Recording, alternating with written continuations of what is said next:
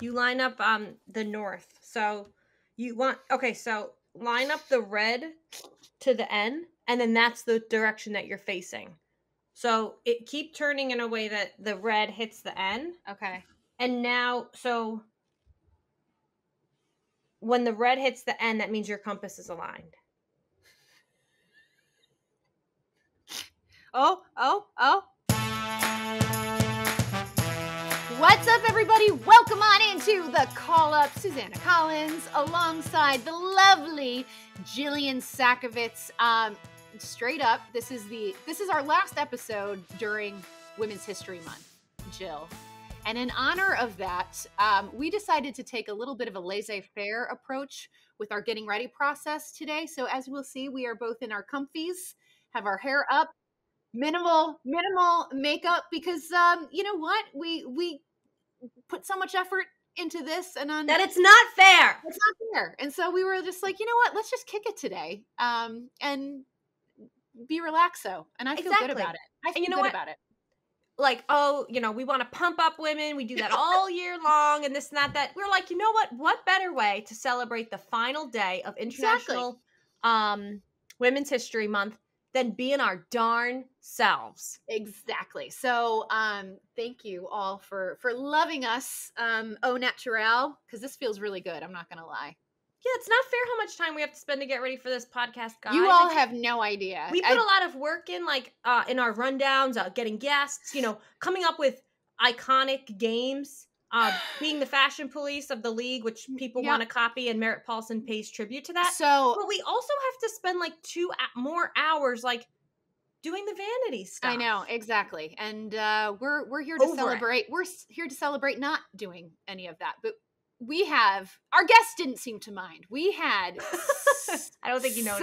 such such a great guest on today. Um, the owner of the Portland Timbers and the Portland Thorns, Merritt paulson and he just kind of he kind of pulls back the curtain a little bit on how he came to be an owner. He um, he talks about his uh, his Twitter persona, his relationship that he has with uh, with social media, because we know that he does not hold back. Um, he talks about Gio Savarese. I mean, we've just it was a really, really, really interesting, enlightening conversation, and we also found out that he loves this podcast, which automatically makes him a favorite. So Didn't know that before we had him on. Have to thank admit. you, thank you very much. Um, are we ready for here for this?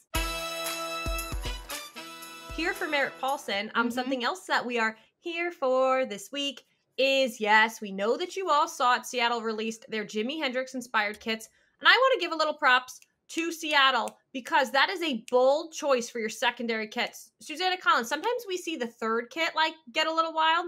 Their second kit is like, woo, different colors, different scheme. Um, and I do want to call out um, Seattle. I heard it's nice, but I have no idea because I didn't get one. But Susanna was nice enough to show hers to me, and that begged the question. Yeah. That, okay, yes, Jimi Hendrix, iconically born in Seattle, Washington, but what other teams should get kind of crazy and go the music route for their secondary kits? And you have a good one. I do have a good one. Um, I because I'll I'll be honest. I I am so here for the music inspired kits. I think it's clever. It's smart. The way Seattle did it was so mindful and just very very. It was just it, so cool. So so cool.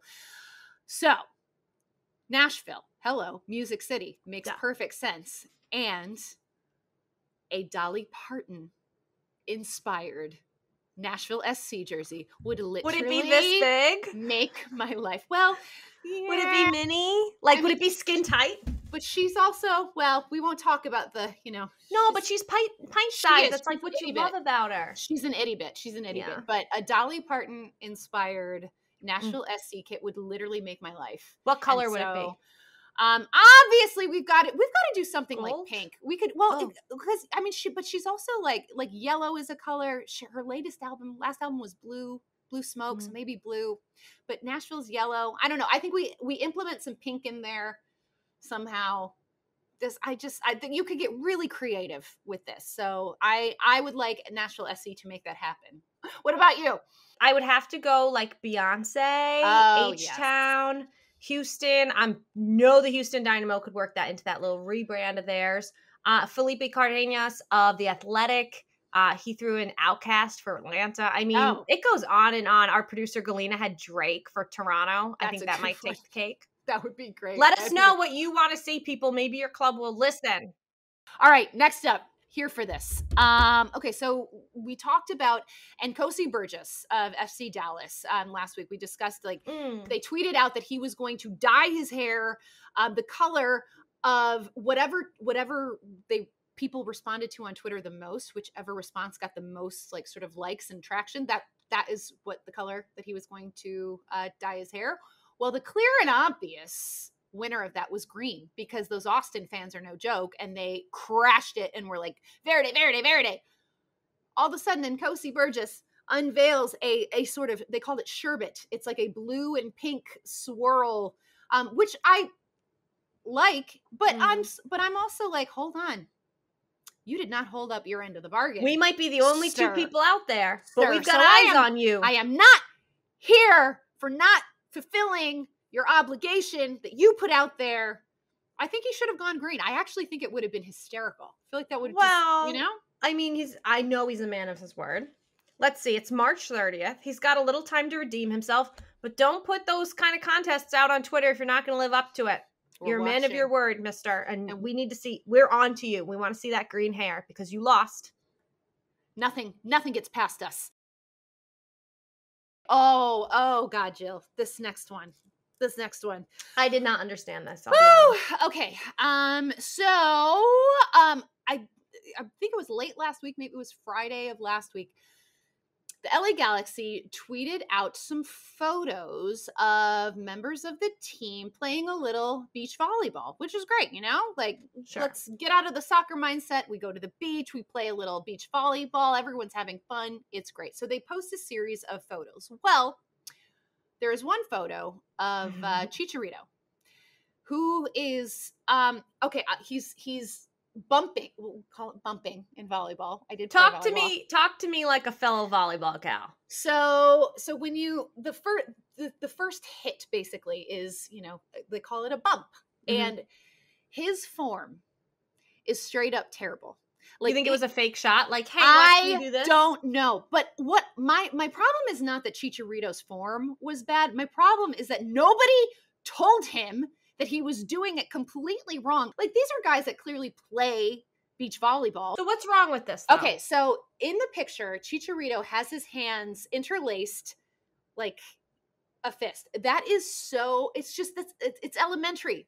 This is your the the form. It's just you got to get the. I do the thing where you lay the palms in each other and then you bring the thumbs together, and that's how you play beach volleyball. That is how you pass a ball. That's that's how you pass or bump.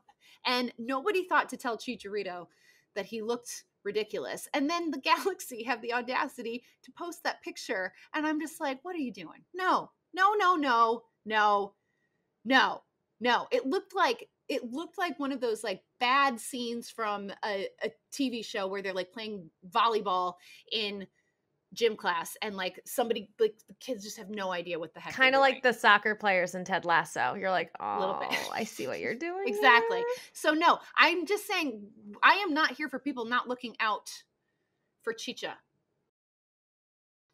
You may ask why I have a compass on today. for those of you that that are watching, and it's because we want to give love to the cutest team right now in the league, in the Colorado Rapids, who are Mhm. kind enough now two years in a row to not only send us jerseys, Two years. but like a kind of a survival kit of sorts, which like Lord knows we need it. I've got ferns, um, pine cones. I have a map for when I go hiking, notes. I mean, tons of notes. And this compass, and then this freaking custom jersey that we just love so very much. The jersey is incredible. So the reason that they it, so it's this beautiful mint green. If you can't see it, uh, um, it's a mint green with like green accents that just really really pop. And they they did this to honor the it's called the Class Five jersey, and it's to honor the all the Class Five mountains in Colorado. And it's just Yeah. it- it's just so meaningful and It has a topographic. fitting. It has a topographic theme, um, and that is just the best and the cutest. I love and- it. I- love it because it's unique. And like when when they sent it, I didn't. I was not expecting this, and I loved it. It was such a pleasant surprise. So I just feel like they did such a great job, especially on the heels of everything that went down in Colorado last week with the shooting in Boulder. They actually tweeted out um, a jersey that had Boulder 10 on the back, which I thought was just really, really special and meaningful. So um, thank you so much, Colorado Rapids, for for showing us some love and for just being good humans all around. We love you. We are always here for that. Time now for AT&T 5G call to the field. Susanna Collins. This is a guy who's been on our list for quite some time. Yep. Owner of MLS's Portland Timbers and the NWSL side team and NWSL side, the Portland Thorns, Merritt Paulson. Yay! Thanks I'm for coming up. on. I'm fired up. This is one of my favorite pods. I told you guys. I mean, this is this is uh, easy easy decision for me. Oh I'm my god! I'm honored to be here. We're, Very honored. We are so flattered, Merritt. Thank you so much. This it's is the truth. Great. Well, thank you so much. And fired up. We are fired up too because first things first, the U.S. did not qualify for the Summer Olympics. Third straight failed attempt, 2 1 loss to Honduras.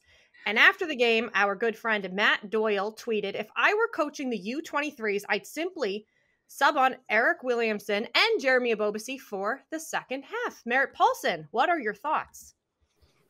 Well, you guys are trying to get me to agree with the Matt Doyle tweet in and of itself, which I mean, I thought these were going to be nice questions. I mean, what, what a bit of trickery is going on right here. Uh, yeah, I, I actually uh, tend to agree with him. Uh, you know, tr- strangely enough, on this one, I we were surprised not to have them called up, and mm-hmm. I don't mm-hmm. want to spend time, you know, taking shots at Jason and and the squad selection, but uh, because a lot of things go into that, honestly, and it's style of play and you know a host of other uh, issues. But eh, look, Eryk and Jeremy, and I'm not objective, but they're better players than the people that were selected at their respective positions, and they didn't have a lot of proven scoring on that team.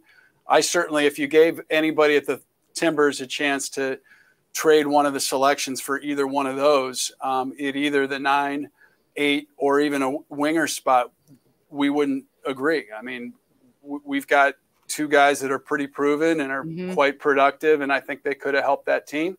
Um, but you know, hindsight's twenty twenty. We should have been able to beat Honduras without them, and you know, I just I, I do take heart that we've got more young uh, talent in this country than we've had in a long time. And I hopefully the failure on the Olympic front doesn't doesn't cloud that because it is a fact. And let's just hope that Greg has better luck with uh, you know the World Cup qualifications. Amen on to on to happier topics. Uh, Merritt MLS uh, released the the schedule last week, and the Timbers open up their season on April 18th against your Cascadia rivals, the Vancouver Whitecaps. Um, after, I mean, just a, a tumultuous and crazy 2020. How excited are you for this upcoming season? It's out there. The schedule. It's it's happening.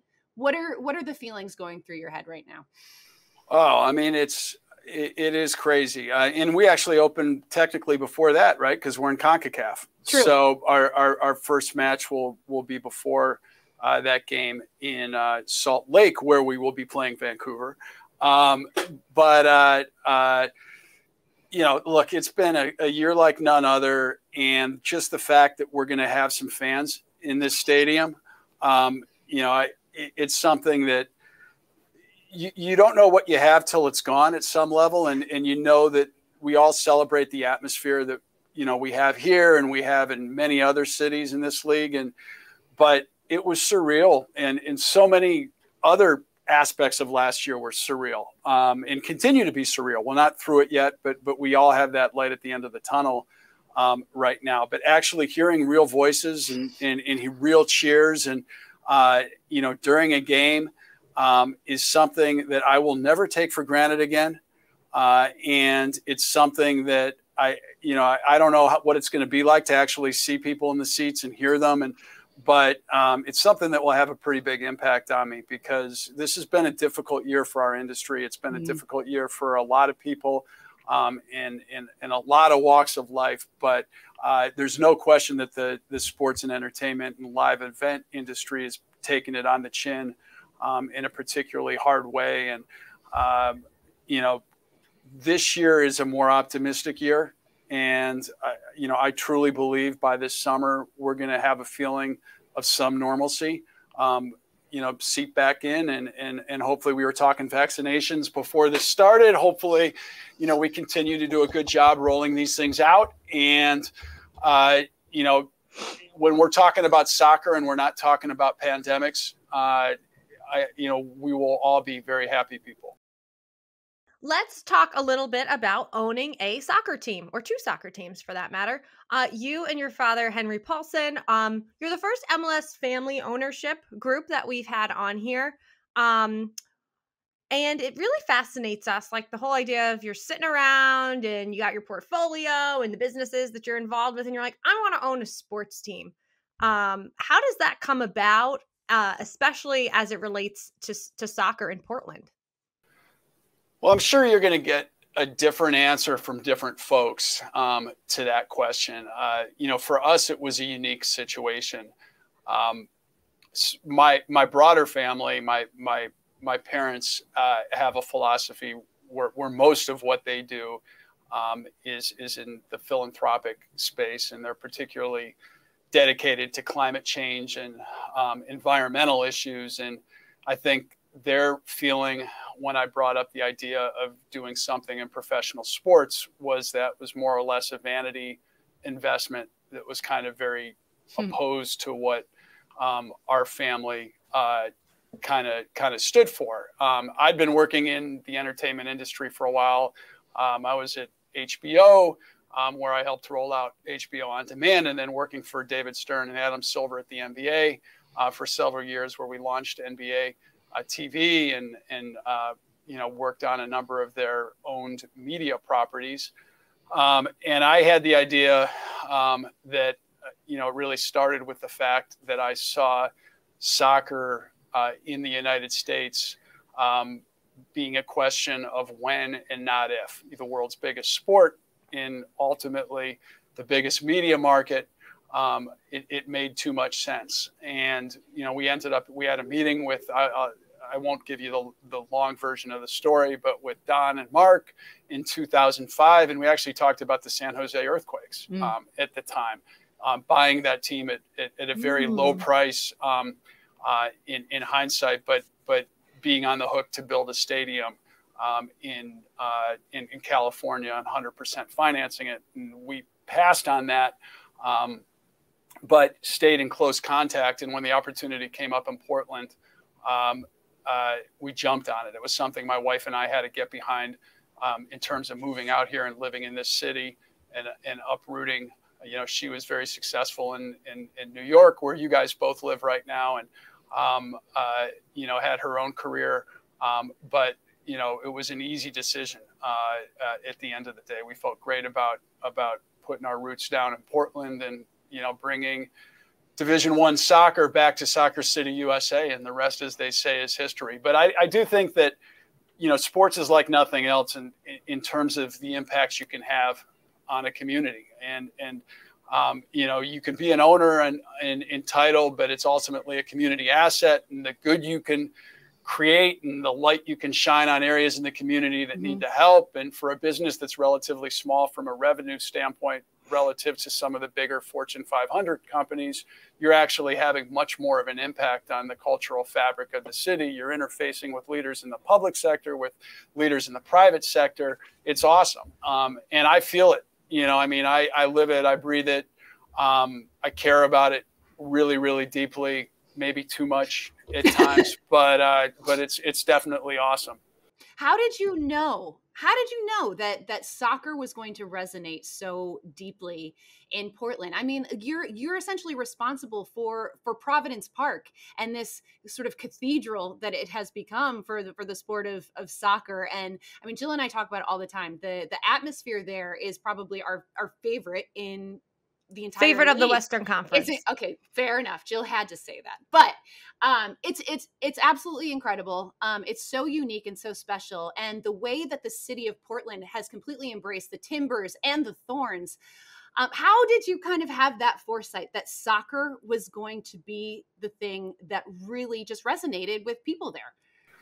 Well, that started long before I ever had an interest in Portland. When you look at the history here, dating back to 1975 in the NASL and the, the, the Timbers, and you know, uh, on the women's side as well. Um, when you look at what the the University of Portland, you know, most supported women's uh, soccer program and uh, college soccer uh, has been, and uh, the fact that this city's always taken to soccer, um, uh, you know, in a in a pretty unique way I, it was clear that that this was a, a, a, an area that was ripe for you know taking that to the next level. And I think we, you know, we certainly uh, did some things right along the way, and the way we've we've you know taken what always was, uh, you know, a, a, soccer stadium or a, certainly a, geometrically, you know, rectangular setup and what had been changed to be a multi-purpose stadium that worked for baseball and all whole bunch of everything's and sort of make it back into what it originally was intended to be and the way we've renovated it and rebuilt it um, i'm pretty proud of and, and i'm proud of the way we've connected and expanded our fan base and really proud of the fact that you know on the women's side the fact that we've made the the thorns kind of um, a beacon of light for what uh, women's professional sports can be and the way mm-hmm. they can be supported not just in this country but everywhere around the world. You mentioned the thorns and you know they're just they're almost if not exactly as iconic in the city as the timbers. And you don't always get that in a, in a town that's got a, a men's and women's sport you know nba WNBA the whole thing. Um, let's talk a little bit about the thorns. Uh, happy news soccer fans back to providence park um, for their game on april 9th uh, you tweeted you're gonna have tears in your eyes when you see fans back in the stadium um, but let's also talk about the gap and inequality between women's and men's sports, right? It's been making the front pages for a very long time. Most recently, the pretty annoying pictures we saw at the NCAA tournament of the gym that was given to the the weight in gym that was given for the women versus the men. Um, Megan Rapinoe recently uh, presenting to Congress about equal pay as a team owner you own the timbers, the men, right? And you own the thorns, the women. How do you navigate those types of conversations with your female athletes or in, or in general? Um, well, let's not forget former Thorn Midge Purce was with uh, Pinoe as well there in, mm-hmm. in, in, DC. But no, it's an important question and um, uh, one that I'm pretty passionate about. Uh, I, and I think that that you know it's it, you can be framed as equal pay, but it's it's it's much bigger than that. It's equal investment um, the CarMax commercial that just came out. Uh, I don't know if you guys saw that. I mean, so good, so good. and we may be we may be at a turning point right now. And so. when we made the decision to, to help launch um, the NWSL with the Thorns um, in 2012, leading into that inaugural 2013 season, and I really took a deeper dive looking at the history you know, it was as much a problem as, as of ownership as mm-hmm. anything else. And um, uh, the wrong people in, in um, and, and, maybe that's a way that I, that's a soundbite I, that, that could come back to haunt me, but people that cared, but, but didn't necessarily have the resources and the um, infrastructure and the facilities to, to, to, you know, put the league in. And, uh, you know, I think it's it's a question for media partners as well in, in investing in uh, the, women's sports in the way that they've invested in in men's sports and in, in, giving them, um, you know, the, the, exposure they need to grow and flourish. And uh, we had really robust ratings for the NWSL last year, um, and and you know we're proving out the fact that there is a market um, uh, for for women's sport, and the fact that we're you know averaging twenty thousand a game um, at the Thorns pre-pandemic um, here in Portland, you know, is is is proof positive that you know it's not just about eyeballs on TVs. You can have the you know same type of atmosphere uh, as well. And I think uh, you know along with that, we 100% have to to, to ramp pay up um, and do so in an aggressive way, um, but also in a way where we're able to sustain the league and you know we don't crater the league um, mm-hmm. in the way the prior uh, versions of women's professional soccer have done. And then, you know, it's a different, a little bit of a different question on the national team level with what uh, Pinoe and those folks are focused on, and I'm not going to touch that.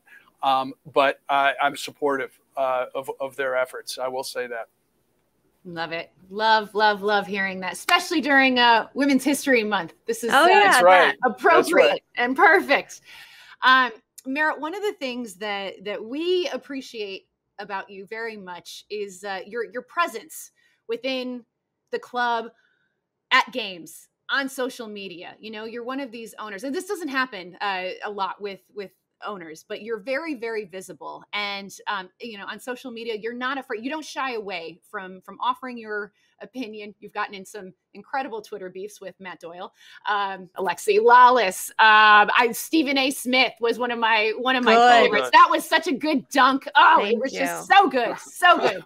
Um, but it's interesting because, like I said, we don't we don't necessarily see that a lot from from ownership. Why why is that something that you lean into rather than kind of avoid and take a, a backseat to? Well, I, th- I think the team stands for the teams have stood for engagement um, and authenticity, and and you know I I felt like um, you know that that you know I am very much part of that for better or for worse, um, unfiltered, and and uh, I think that's it's primarily been a positive for us. I do think social media has changed um, a, a bit, Susanna, I, and I don't know if you if you guys agree with me on that. I mean, it's interesting. I I still I I love it um, for the right things, and you know I love the fun side of it when we can talk about the travesty of Prince William being elected the the sexiest bald man out there. I mean, are you are, are, are you kidding me? Right, the fun stuff. I mean, is is Rude. not, not you know as, as as a bald guy, I feel like I need to apologize. Completely for- overlooked. Completely no, overlooked. not, not me personally, but I mean, come on, let's even in our soccer world, Zidane or you know uh, Pep or whoever. There's legitimately attractive bald True. guys out there, not him. Uh, but but you know, having fun stuff like that, um, uh, or you know, even you know, really digging deep in in um, you know on, on the Olympic issues we were talking about earlier. Um, but I do think that you know a trend that that I've seen that's kind of a less fun topic of conversation is the fact that you know it definitely seems to be a, a, a bit more of a light the torches and kind of look for controversy and try to trip people up when they're out there engaging and you know it's taken the fun out of it a little bit for Mhm. me um, and, and and probably means that that I do less direct engagement um, you know it, uh, I, I I don't know how much of that is is you know just just what we're seeing broadly in our culture about sort of the extreme polarization, um, you know, and people yelling at each other and um, you know getting that kind of psychic validation of starting a controversy or whatever it, it, it may be. But on the whole, I I've de- I've definitely leaned into uh, you know engaging and I, I I've had fun with it and and I've made mistakes. Uh, also I, I will say there's been a couple things i've regretted on social media. Nothing with matt doyle but um, um, you know with, with certainly with some other things. But ultimately we're not you know we're, we're, we're not curing cancer here. I mean this is sports and entertainment and and you should be able to have some fun with it. And um, you know I, I also do take things personally maybe too personally at times. And and and and there have been a couple times where i've been sort of genuinely annoyed and tweeted and that's never a good thing. Um, so we try to limit those um, uh, when possible. But that's not to say I won't make a mistake down the road either, you know, and, and, and all of this. But I'm trying to be a little smarter about it. I would love to see your drafts. You know, like your Twitter Mm. drafts. It's like the tweets that never get sent. Like I, I, because listen, I've got some doozies in there. Ones that I'd love to fire off, but I like have a drafts, couple. I'm not gonna do it. I'm not gonna have a do couple. I, I, there, I my fines would even be bigger than, than they are. If, a lot of them involved a word that started with F. Uh, you know, but but uh, I I've had I, I've had some. You know, my files of tweets I didn't send, you know, are, are, are, are pretty extensive. it. Fair. Suze, we always say we'll share the drafts on our final episode, know, and we'll invite know. Merritt Paulson on for that episode too for the You Yeah. drafts. Read them all. Okay, so we talk about Twitter beef and all this. I think the biggest, my biggest thing with social media, and we talk about this all the time, is the fact that it's kind of the uh, self obsession. And if you're gonna just do the most annoying, vomity thing, that that is like the cool thing to do. And if you actually have like a thought, that's just not that cool unless it's like the hottest take in the world. And honestly, then it's just a bunch of BS anyway. But the one thing that I don't think is BS is the fact that you were annoyed with Alexi Lalas when he said that he didn't include that the Timbers were on his list of MLS super clubs. So, Merritt Paulson, if you were going to make a list of MLS super clubs with Portland on there, of course, who would it be? And also, why did the Timbers get overlooked? Well, what let's define what a super club is, mm-hmm. okay? Let's. Um, and I think that relevancy has to be a criteria to mm. be on the, the, the list. How popular are you in your home market? You know, what's what's your sort of Q factor, for lack of a better term, of recognition, and um, uh, you know, w- what what are your season ticket holders? Um, you know, what's your atmosphere like? And I think that that's got to be on the list. I mean, mm-hmm. and and um, I love what's happened uh, with with a lot of the teams uh, recently, and, and, sort of LAFC adding buzz to the LA market. But um, and again, I'm not going to, you know, I, I don't need to, uh, to to to put myself on thin ice in a podcast just like I do on Twitter. but but you're cutting through a lot of other noise in the LA market. You know, there's no yeah. question that that um, you know the Lakers or you know whatever are are are are, are still you know sitting atop of that that um, uh, sports pyramid. And I you know in, in Portland uh, the Timbers have a pretty unique place in the Thorns. Mm-hmm. Um, and and so I think that uh, clearly, I mean, there's the obvious, the usual sp- uh, suspects on who would be super clubs, and I think how you spend and how you've won, and you know, should also be included. But but in my mind, Portland would be on any top five list. And yeah. you know, you could talk about Atlanta um, and talk about Seattle. Um, I know I, I, I, shouldn't shouldn't give them the props that that they're due, but but they are. Um, at the end of the day, if you're being objective, mm-hmm. Um, and I think you know obviously what LAFC has done and the Galaxy, their success, and you know there's there's some teams that that, that cl- clearly stand out as super clubs. I just think that ultimately people say uh, too often, you know, the Pacific Northwest. We're not going to pick more than one team from the Pacific Northwest, and yeah. um, you know, so we're going to do Seattle rather than Portland. And we've been spending like Seattle. Um, you know, we've got our own stadium here. We don't rent a stadium. Um, sure. You know, we've got we've got better kits. We've got more authentic uh, uh, supporters.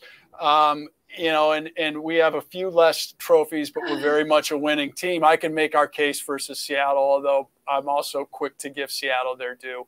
Uh, as well. But I, I, think we deserve to be on that list. That is so respectful, Merritt Paulson. Well played, sir let's talk about your head coach, who we love and adore on this podcast. Uh, Gio Savarese, probably one of our favorite interviews that we have ever done. He is just a delight. He is a delightful man, um, incredibly lovely and generous with his his time and his knowledge.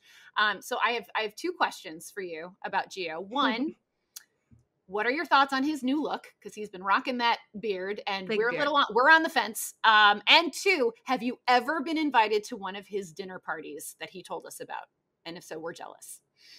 Let's start. Don't you guys do the the best dressed coaches list? Oh yeah, that, didn't Thank that, you, Merritt Paulson. Didn't yes, that originate with you? And you started a Thank big trend. You. I see other people. Thank I, you. I, I think it's a travesty if he doesn't win that he, every year. He I mean, has I, low key great style. Unbelievable st- style and uh, you know he's friends with Cucinelli. He's friends with. I mean, he's he's he's got uh, he he's he's got like some some some significant ties into the fashion world that anybody that follows uh, hmm. uh, you know that space would be impressed with. But that aside, his his tasteful um, uh, uh fashion sense um, aside, you know he he's a he's a joy.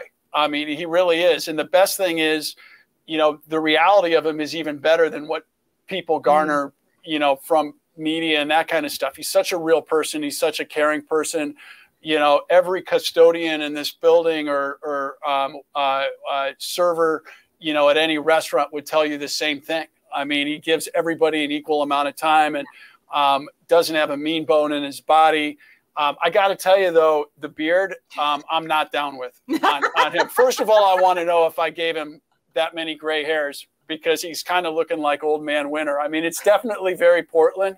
Um, Possible. But but I, I'm looking forward to, to Gio sh- shaving that thing. I'm kind of, and maybe it's just the fact that, um, despite being, you know, follically challenged myself, I, I can't grow a beard. I like, I have very little facial hair. I could do like a, a, a half goatee kind of Fu Manchu. Oh, no, I mean, no, it's, no, no. it's, it's not good. I mean, I'm, I'm telling you, so I can't do a field, uh, I, uh, full, full beard at all. I mean, it's, it's so living in Portland, that's sacrilege to say that, but um, it, it's come in in a in a way that's that's a little bit thick and full and, and white, and you know, it's got a, too much Santa Claus in it for a guy with his style. It's So aging him. It It's took us- it's aged him. him. It's it took us him. by surprise. It Yeah, took it us by did. surprise. That's No, a nice Merritt, way of you're- saying you guys hate it. I mean, just come Well, out and we say it. wouldn't You're- say you're that not about fans. him. It would, like that's, that's the thing. It's like I love Gio, and I don't want to say anything No, we wouldn't say disparaging about the man. But is it my favorite Gio look?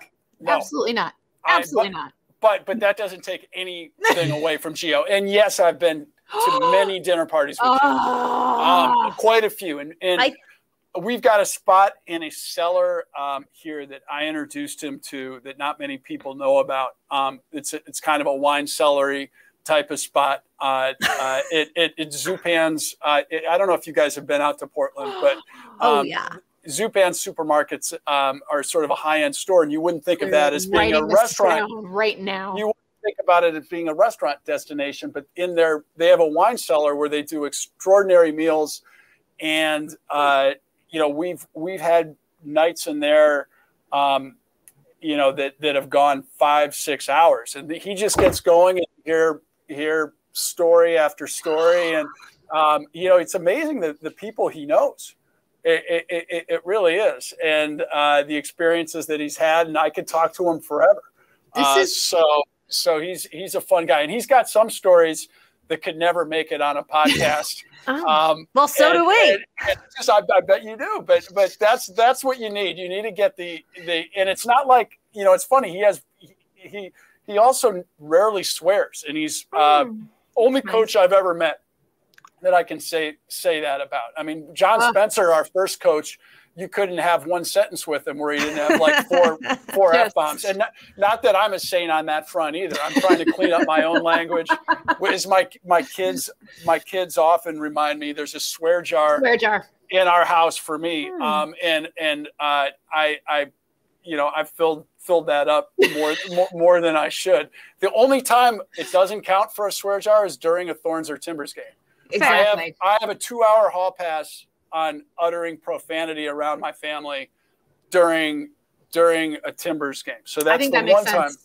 But uh, but with Gio, I mean, getting him to tell a semi off color story is always an achievement. Um, you know, because it's hard to get him to go there, but he's got some good ones on, Oh. on that front as well. my my post my post covid like everyone's vaccinated dream is to Mhm. be at zupan with this this crew we get gio in there and we sit there for five hours and drink some delicious wine and eat some delicious food and we are privy to the gio savarese stories i feel What- like i feel like i'm going to put that out in the ether and just like try to have that the universe manifest that for us Let's let's do it. I will open up a couple bottles of Sassicaia. We will we will keep it Italian, high end Italian. We'll do some super Tuscans, maybe a Barolo or two, Oh, and wow. and, uh, and and we'll make it happen. They do a really good short rib meal. Oh um, you know, so we'll do that as the main course, assuming you guys are not vegetarians. Oh, Otherwise, man. we, you know, so Nope. we'll make it happen. All right, before we let you go, Yep. Merritt Paulson, the Cascadia rivalry is arguably the best in the league. You know, we're talking about maybe some not of the arguably, disrespect. not not arguably. I'm sorry to interrupt. I mean, there's Okay. no better rivalry. You guys have fun with that Mhm. on on MLSsoccer.com Mhm, uh, mhm. all the Perhaps. time. But but Seattle Portland uh, is the best rivalry in Major League Soccer. And stop. That's And not stop. me. And stop. You know it's true, and I know it's true. All right. well. Like So if we are anybody's on a lie detector test, you guys know that's the case. You got to hype these other things up, but they're all they're they're they're all fighting for second place. We do. It is our job to kind of stir the pot. Yeah, you know, we gotta talking points. Talking points. So, so we're really going to make this painful for you, and we are going to make you decide between Vancouver and Seattle. Your oh, most Lord. bitter rivals. We know Yes. that you are Portland through and through, but if you had to go to the other side, we are going to find out today which side it would be. So, Can I just Merritt check- Paulson- Can I just check Vancouver for every qu- no? well, we will find out naturally where All you will end Uh, up. I'll be honest. I'll be honest. So I, Please. I could get myself into to, to trouble if I have some Seattle answers, but I'll- Snow I'll- or rain? oh, snow. Mhm. Okay. Okay. Okay. Trust you. Um, hiking or skiing. I'm a skier Okay. and a hiker, but I love skiing more. Okay. Okay. Jimi Hendrix or Celine Dion? I'm gonna go with Hendrix, but but and, and yeah, I know he's got a cool factor, but I'm really not that big of a Hendrix fan. But when you give me Celine Dion, it makes it easier. like- At least you, you could have done maybe Bryan Adams or somebody, but it's not that much better either. I mean, Hendrix is Hendrix, so I'll give it, give it to Hendrix. All right. Salmon or poutine. Salmon. Okay. Okay. Okay. we are tied to Vancouver to Seattle. Starbucks or Tim Hortons? Tim Hortons. Timmy House. Okay. Snow capped mountains or the Space Needle. Snow-capped mountains. Okay, fair. that one too. Uh, if you're going to go to a game other than a soccer game, hockey or baseball? Hockey. Okay. Okay. Okay. I like this one. I'm real excited about it. Alfonso Davies or Clint Dempsey? Alfonso Davies. easy. That's an easy one. And I like. All Clint. right. I, I I like Clint personally, but give me a break. we are six for Vancouver and two for Seattle, but we had a tiebreaker and we'll just use it anyway because I think Good. both these mascots are so But I've average. been I've been totally honest. That's You not have one that- no. I We trust appreciate you. We, Yeah. we totally trust you, Mary. we, you know, we should have made it a little harder, Suze. Um, we we're making Vancouver sound real good. It's, I it's a good city. Sammy the Sounder, which is apparently an orca, didn't know that, or Spike the belted kingfisher. Well, I you know look my my mom my mom was chair of the Cornell Lab of Ornithology and is basically like a hardcore bird. Anybody that would be bold enough to have a belted kingfisher Belted out, Kingfisher. out there, I you got to give the nod to the kingfisher. And- All right. and Merritt I'm Paulson, heavily. we go to Thank you Vancouver. Thank you, thank Vancouver. Uh, Merritt, this was so great. Thank you so much for your time. And uh, real quick, will Portland win MLS Cup in 2021? And why? Yes, because we'll be healthy, and we would have won it last year if we were healthy, and that's why. There we go. There we go. What is on tap? Well, earlier this year, we spoke to Columbus Crew SC broadcaster Jordan Angeli about the push we're currently seeing to have some more women, more diverse voices overall in the broadcast booth. And we're finishing off our Women's History Month celebrations, not only dressed like normal people, but with this clip. Take a listen. I will always celebrate the best candidate for the job getting the job. And I think that what we're seeing is an open mindedness about who the best candidate could be. And it's a lot of people, and it can be, it doesn't matter um, your gender or your race or your religion. Not if you believe in something and you're, and you pursue it and you're good at it and you put your best foot forward and say, hey, here's, here's what I could offer you. Um, that you're going to have a shot. And I think that that's what we're seeing. Love that interview with Jordan. Remember, guys, you can check out the entire episode on YouTube um, or anywhere you listen to podcasts. It's a great conversation. There's It's a great conversation that we had with Jordan Angeli.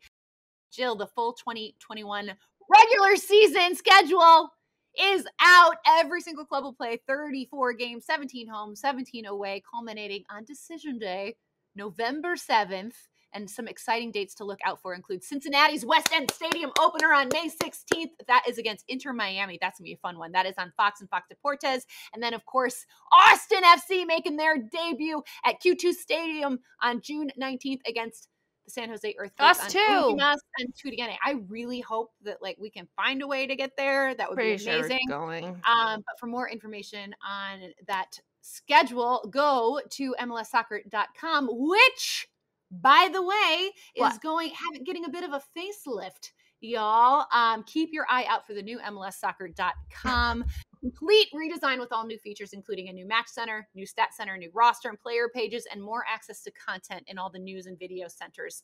Um, plus, all new episodes of the call up and extra time. Hello, right on the homepage. So um, keep an eye out for that on MLSsoccer.com. Lots of exciting things happening. We are so freaking lucky. Woohoo, baby! Um, this we are every day, Jill. We're we're one day closer to MLS being back. Just gonna use the nice little map that Colorado sent so us, and I'll see you soon. Let's do it. Thanks for watching and listening, y'all. And a big thanks to Merritt Paulson for coming on today. Have a fabulous week, everyone. See you next time.